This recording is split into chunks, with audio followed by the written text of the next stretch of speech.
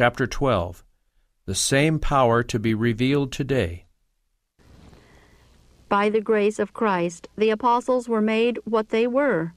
It was sincere devotion and humble, earnest prayer that brought them into close communion with Him. They sat together with Him in heavenly places.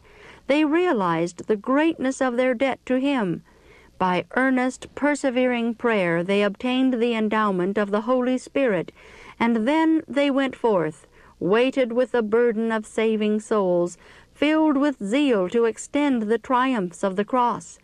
And under their labors many souls were brought from darkness to light, and many churches were raised up.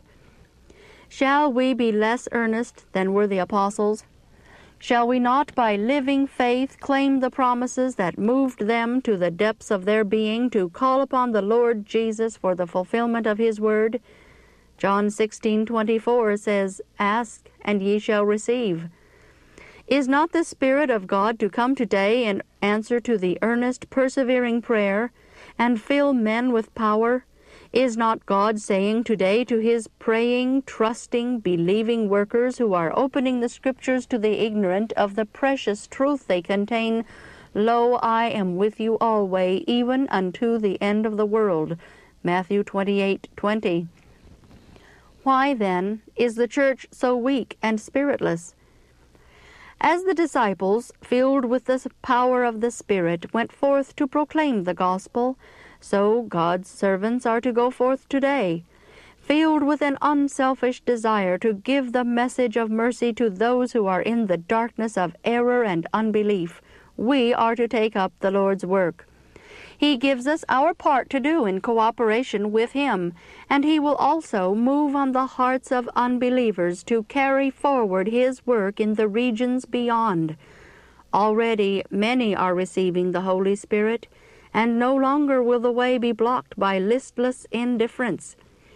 Why has the history of the work of the disciples, as they labored with holy zeal, animated and vitalized by the Holy Spirit, been recorded, if it is not that from this record the Lord's people today are to gain an inspiration to work earnestly for Him? What the Lord did for His people in that time, it is just as essential and more so that he do for his people today. All that the apostles did, every church member today is to do. And we are to work with as much fervor to be accompanied by the Holy Spirit in as much greater measure as the increase of wickedness demands a more decided call to repentance. Everyone on whom is shining the light of present truth is to be stirred with compassion for those who are in darkness. From all believers, light is to be reflected in clear, distinct rays, a work similar to that which the Lord did through his delegated messengers after the day of Pentecost, he is waiting to do today.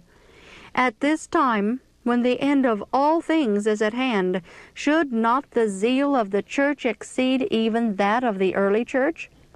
Zeal for the glory of God moved the disciples to bear witness to the truth with mighty power.